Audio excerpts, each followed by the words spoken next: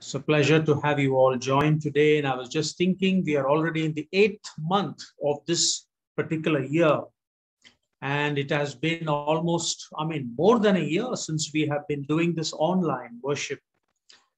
Uh, even though we are constrained in being able to meet each other, nevertheless, it is uh, we must give thanks to God that we have been able to keep in touch. And so uh, we are grateful that we have this platform on which we can uh, connect with one another. Thank you for taking the time to do so this morning. And I was uh, just remembering, uh, you know, my childhood uh, and the things that we use, you know, to uh, to play, the the the kinds of toys that uh, we invent as, as children. In those days, we did not have uh, computer games and video games, but we used to invent things with implements, you know, like, for example, I don't know if some of you might have done that. We used to take an old cycle tire and we used to make it into a toy and we used to, you know, run around in the in the yard or in the road one of the things I, I clearly remember is we used to try to imitate uh, people with bow and arrows. We used to make a bow taking a branch of a tree and uh, uh, make bow and arrows and pretend we are in a battle. And we used to have, well, one of the things we used to do is cowboys and Indians. we used to uh, pretend as though we are in some kind of a battle. Um, so we used to have these so-called make-believe enemies, and we used to bide our time playing in that uh, manner. But of course, as we grew up, and as I grew up, all those childhood fantasies just faded away. But as we as we grew up, obviously there were other battles we had to fight. Uh, there were not battles that we fight with guns and weapons, but we had to fight various obstacles in life as we came across difficulties and trials and uh, problems. There was a battle that we continued to had to fight. And I still remember going back uh, many years and in this fellowship. I was baptized at age 17. And I still remember Bertram was part of that contingent that got baptized. so we were born again on the same day, spiritually speaking. Uh, but as I got baptized, I began to realize that there were new battles to fight. Bat- a battle to remain faithful to God, to fight temptation, the pulls of the human nature, the worldly pressures that come as we lived our lives as a disciple of Jesus Christ. And as we accosted these situations, uh, we had victories, we also had failures, uh, many disappointments. But the battle continues. And I'm presuming that all of you are familiar with these battles that we have on a regular daily basis that we fight. And these battles, as physical human beings, will remain till our dying day or our glorification day, whichever is earlier, right? And you know, the Bible acknowledges that we are in a battle. Uh, and uh, we are reminded that we need to be vigilant. We need to be ready to continue to remain uh, in, a, in, a, in a mode where we recognize that we have to fight certain battles. And interestingly enough, the Bible also reminds us and tells us that we have resources. God gives us certain resources to fight these battles. And as we have read in the scripture today, it is called the armor of God. as we were led in the reading by Josephine in Ephesians chapter 6, we are told about the armor of God. Isn't it interesting that uh, the apostle mentions it or terms it as the armor of God? He doesn't use the word weapon. In other words, perhaps he's alluding to the fact that our battle is more defensive rather than offensive. All we have to do is defend ourselves. The offense is done by someone else.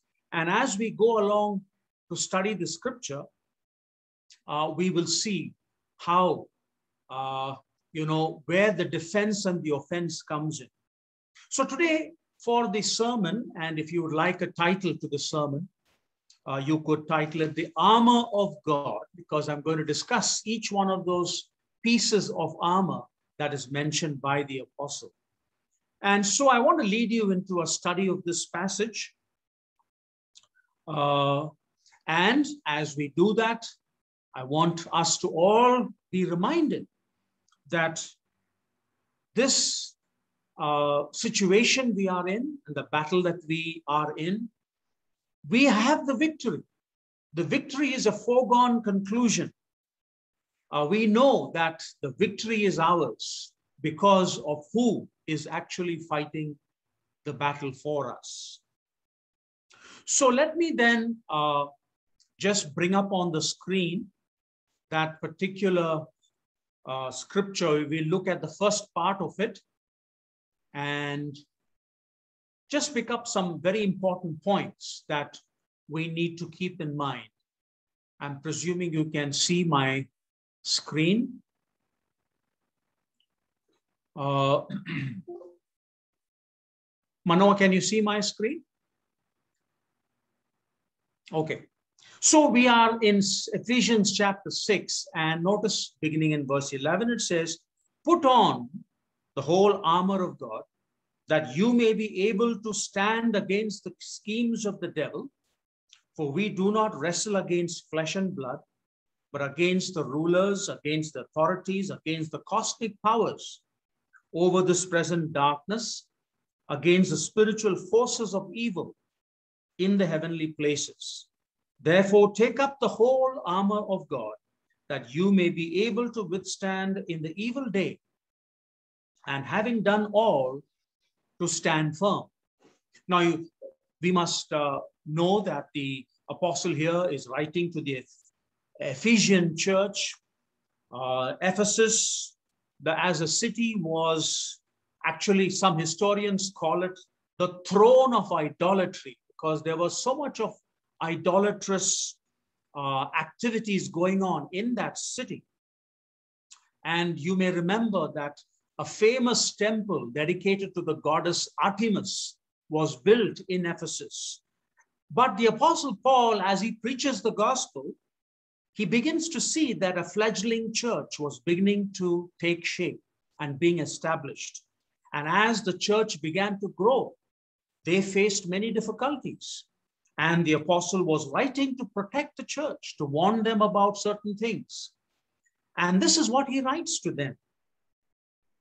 And I would like you to notice once again on the screen uh, in uh, Ephesians chapter 6. Notice what I have uh, highlighted in yellow, it talks about the schemes of the devil, cosmic powers over present darkness, against spiritual forces of evil in the heavenly places. And this translation is from the ESV version. And so I highlight those points for us to ask the question who is our enemy?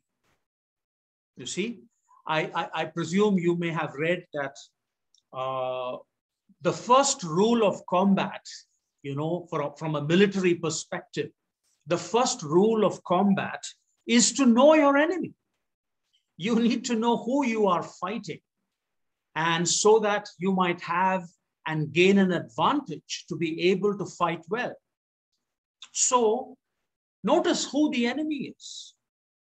It is not flesh and blood, as the apostle says, we do not wrestle against flesh and blood. In other words, People are not our enemies. We are not fighting against people. We are supposed to love people. Jesus Christ loves people. God's love God loves people. And we are, as disciples of Christ, to love people, not to fight them. But unfortunately, the real enemy has fooled us and made us to think that we are supposed to fight one another. And that is so unfortunate. And even in, you know, unfortunately, even in the Christian world, we sometimes are more focused on fighting people rather than the real enemy. And so the apostle is helping us to understand the real enemy is a very sinister enemy. All right. Uh, a very surreptitious enemy, a cunning and crafty enemy. There is a force behind what we can physically see. And it comes uh, in the form of temptations, it comes in the form of false ideas and deceptions. And who is this real enemy? The real enemy is the schemer called the devil. That is what the Apostle Paul wants the Ephesian church to understand that there is a spiritual force of evil in this world that is manipulating people and deceiving us to think that people are our enemy. No.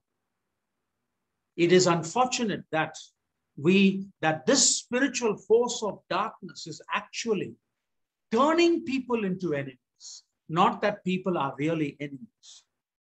He turns people against one another. And unfortunately, even in the church, he turns Christians against Christians. Isn't that very sad? And we keep fighting one another rather than recognizing the real enemy that is out there. And so the apostle is helping us to understand once you know this real enemy, that we cannot fight this enemy with guns and ammunition. We cannot fight this enemy with knives and uh, AK 47s and grenades and IEDs. How do we fight this enemy? And that's where the apostle tells us we are encouraged to take up the armor of God. He calls it the armor of God. Because this enemy is a formidable enemy. We cannot withstand such an enemy with, you know, uh, physical, uh, what do you say, weapons. Uh, we need God's armor. In, in, in, in one sense, we need God to help us, you know, in this fight, because we do not have weapons that can defeat an enemy such as this. So, Paul, in this uh, treatise, in his letter to the Ephesians, tells us that we have to resist by putting on the armor of God. And so the question is, what is this armor of God? Let me then read the second portion of the scripture I will bring it up on the screen for us to read. Uh, the second portion of the scripture is reading, uh, continuing to read from verse 13. Is uh, the, the apostle says, Therefore, take up the whole armor of God, that you may be able to withstand in the evil day, and having done all to stand firm. Stand therefore having fastened on the belt of truth, and having put on the breastplate of righteousness, and as shoes for your feet, having put on the readiness given by the gospel of peace. In all circumstances, he says, take up the shield of faith with which you can extinguish all the flaming darts of the evil one. And take the helmet of salvation and the sword of the Spirit, which is the word of God. Once again, I've highlighted in yellow those specific words that the apostle uses to help us understand what, what is the armor of God. And he makes a very interesting contrast between, you know, uh, the physical clothing that we wear and connecting it to a spiritual perspective. And I think it's a very interesting thing to see what the apostle is saying. Okay, so I hope you have been able to see uh, uh, all of those, and let's take them one by one. He first talks about the belt of truth. What is this belt of truth? Now, when the word truth comes, the first thing that comes to my mind is who is the truth? You know, I don't ask what is the truth because from a biblical perspective, we are supposed to know who is the truth. And I'm sure you will be able to answer that very important question. And in, in, in GCI, we have focused on the who question quite a bit. And I hope you and I will be able to answer it. Who is the truth? And John chapter 14 and verse 6 gives us the answer I am the way, the truth, and the life. And you know that is being quoted by, or that is the words of Jesus Christ. And so, the real ultimate truth is Jesus the Christ. You know, the devil, on the other hand, is called the father of lies.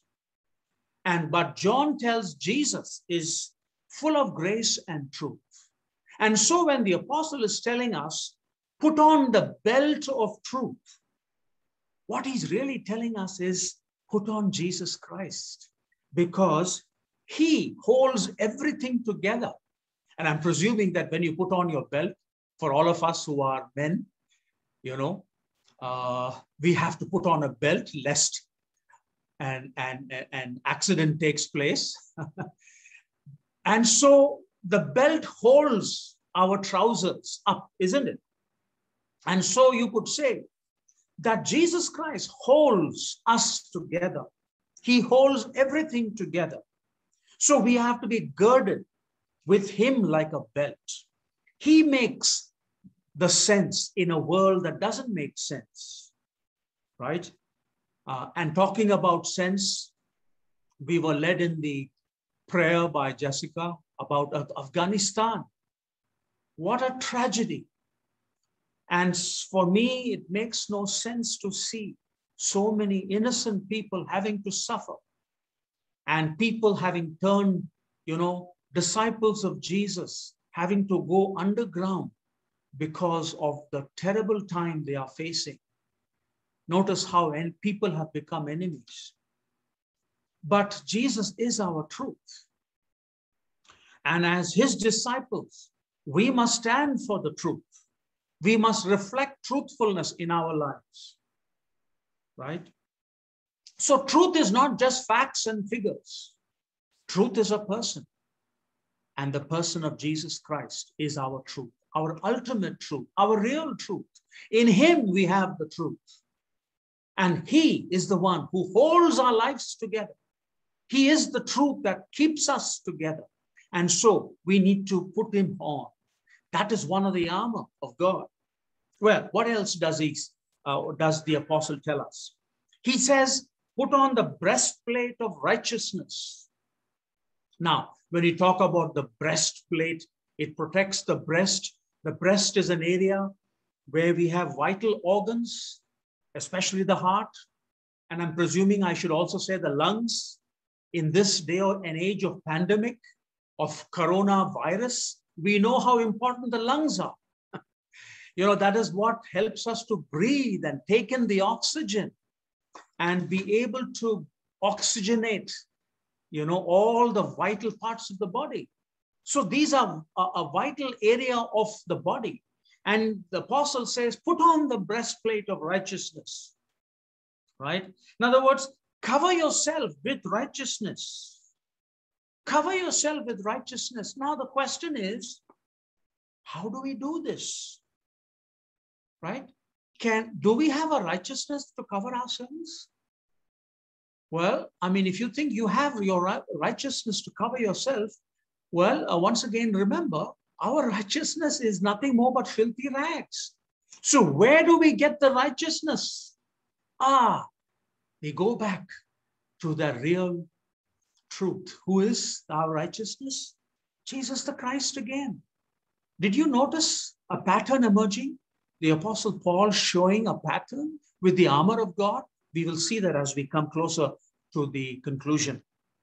But Jesus is the one who puts everything right.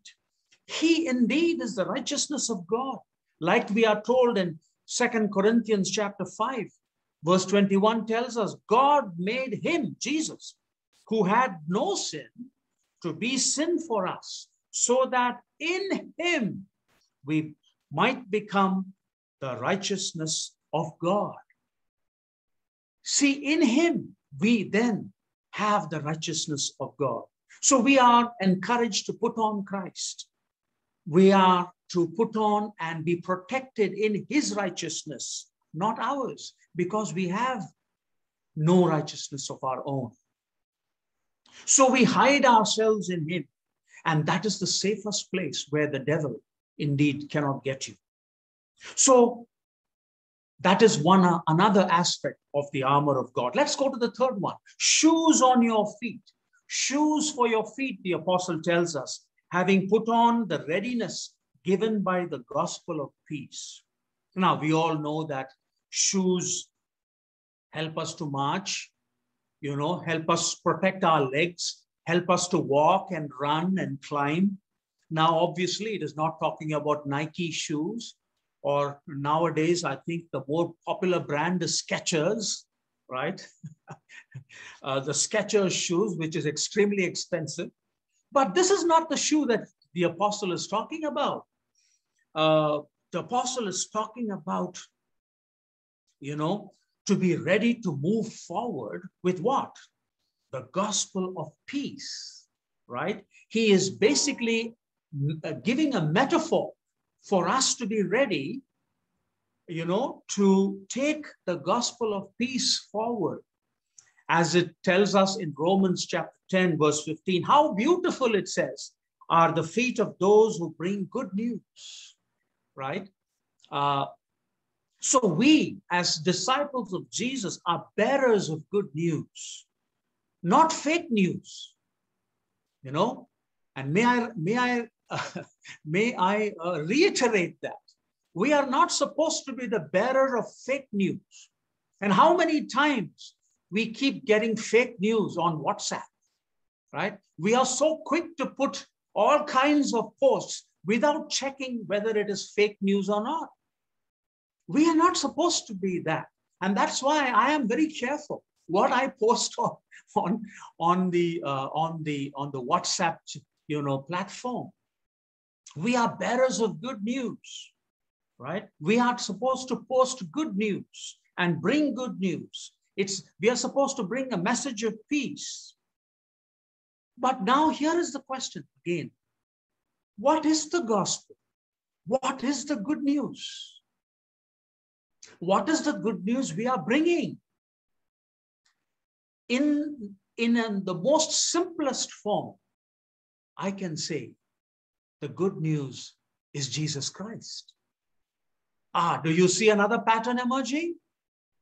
The truth, righteousness, and now the gospel, Jesus Christ. What we are supposed to be doing is you know, manifest Jesus in our lives, to allow Jesus to be manifest so that others may know who and what is indeed the good news. Okay? So that is the reason we are told to be ready to with the with the shoes on to take the good news forward. Okay, let's move to the next part of the armor. The shield of faith. The apostle says, the shield of faith with which you can extinguish all the flaming darts of the evil one. Here he says, the flaming darts or the flaming arrows will come our way, engineered by the evil one. And notice they are not just darts or arrows, they are flaming arrows. In other words, he is showing the intensity of the attack on us to trick us, to distract us, to make us lose our faith in the one who is the truth, right? We will have many thoughts and messages that tell us that we are hopeless, we are losers, that we are useless. Correct? But we are supposed to use the shield of faith. What is the shield of faith? Obviously, the faith is in Christ, right? He is our ultimate victor. And we are told in the scriptures that Jesus Christ is the author and perfecter of our faith. Do you catch my drift? Do you see the common thread in the armor of God? Jesus Christ comes in all over again. He is the author and perfecter of our faith. In other words, He is our shield. He is the shield that gives us the faith and protects us from the fiery arrows that comes from the evil one. Okay, let's move to the next armor of God. The helmet of salvation. Now, helmet, and those who ride two two-wheelers know what a helmet is. And those of us who have seen battles, you know, on the TV know what a helmet is. It protects the head, it protects the brain, and the brain is the seat of your intellect, your reason. It helps us to make decisions. How do we, but the question is, how do we make decisions? We are told in the Proverbs that there is a way that seems right to us, but it could lead to death. So we are to be very careful how we use the brain, the intellect, the reason, and how we have to make very careful choices, careful decisions. How do we make decisions? Ah, that is where we put on the helmet of salvation. Salvation? Where do we get salvation? Do you see another pattern emerging? Salvation is Jesus Christ our Lord, right? Our decisions are based on Jesus, looking to Him. We are to put our minds on our salvation, who is Jesus Christ our Lord right? Uh, we are supposed to be focusing on the realities of the gospel, which is Christ our Lord. We are saved in him. He is our victor. He has won the victory for us. And so we protect our minds, recognizing our salvation is in Jesus Christ. We have nothing to worry. We don't engineer our salvation. We don't manufacture our salvation. You don't have to go and buy a machine to see how you can manufacture your salvation. All you have to do, go to Jesus, put him on, put on the helmet of salvation. He is our salvation indeed. And finally, we come to the last uh, piece of the armor of God. He talks about the sword of the Spirit, which is the word of God. Now, when you read the, the, the, the, the the phrase word of God, you might immediately think about the Bible, and which is correct. The Bible is called the word of God. But in the context which the apostle is using these, this phrase, it may not necessarily be speaking about the Bible as a book. He may be talking about the word of God, which probably means the gospel. Why? Because you see, the Bible was not complete yet. the Bible was not complete at the time the apostle was writing these. Now, he could have a reference to the Old Testament, which was available, which he quoted from. But perhaps more specifically, he is referring to the gospel, maybe. The word of God is the good news of God, which is the gospel. And the word of God is probably an allusion to on alluding to the living word of God. And who is the living word of God? There you have it. The piece of the puzzle is now complete. Jesus Christ our Lord, right? The living word of God. So the sword of the Spirit, which is the word of God, is nothing more but Jesus Christ. And we in the Spirit have access to the very living word of God. Jesus Christ our Lord, right? And it is this sword, Jesus, who is our, remember I mentioned about the offense of the battle? He is our offense. He takes the battle uh, in the offense. All we have to do is defend ourselves behind him. Just put him on, and he does the offense of the battle. We are just to do the defense. All right. And this sword slices into the darkness of this world, into all the lies the enemy throws out to us. This word, this sword cleanses our heart, changes our lives, cutting out the bad habits and the mindsets, trimming the spiritual fat we many times gather over time. And so, what is the pattern you have seen with the armor of God? Perhaps what is the armor of God, simply put? It is truth, it is righteousness, it is gospel, it is faith, it is salvation, it is the word of God. What does all that, what does one word, one name to, to encapsulate all that? Jesus Christ our Lord. And so, brethren, Jesus Christ is our the armor of God. He is our armor. He is the place where we are finally safe and protected. Brethren, our strength is not in our ingenuity or strategies that we can, we can formulate on ourselves, but our defense is Jesus Christ. Only He can protect us from a formidable, sinister enemy like the devil. Even death cannot defeat us because Jesus Christ has defeated death, right? And so, brethren, let us remain strong in the armor of God, which is Jesus Christ our Lord. He indeed is our good shepherd. Let us hear his voice and seek protection in him. And in closing, I would like us to hear the encouraging words of President Greg Williams, giving us and telling us about the voice in the dark in the following video, which Praveen will play for us.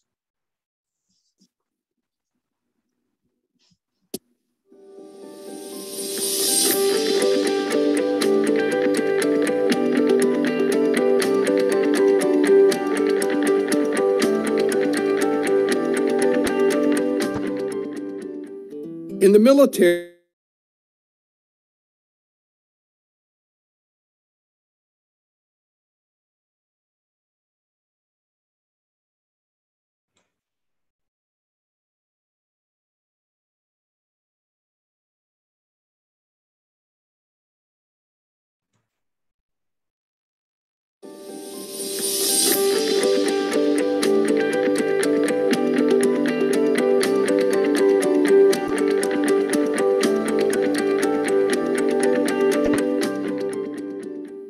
In the military, they have a saying the mark of a true chaplain is that your soldiers know your voice in the dark. You should have spent so much time with them, and they trust you so deeply that even in the darkness and smoke of battle, they know your voice. Jesus talks about this recognition in John 10, verses 3 through 4. To him, the gatekeeper opens. The sheep hear his voice, and he calls his own sheep by name and leads them out. When he has brought out all his own, he goes before them, and the sheep follow him, for they know his voice. We, as Jesus' sheep, know his voice deep down.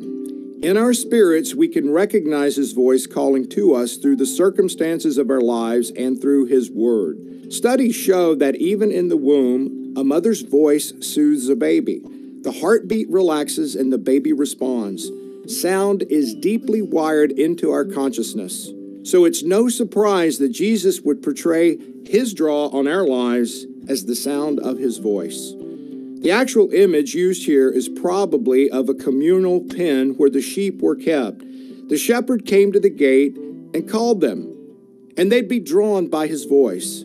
These aren't smart animals. Sheep wander off. They eat manure. They get snatched by predators. Their only hope is a protective shepherd. Jesus describes a shepherd as one who calls and leads, not the driving, abusive person shepherds sometimes were. He calls gently, he leads with mercy. May we be so attuned to him that we know his voice in the dark in the difficulties of our lives, in the loud, distracted age in which we live, may we hear his voice above it all, encouraging, leading, and guiding. I'm Greg Williams, speaking of life.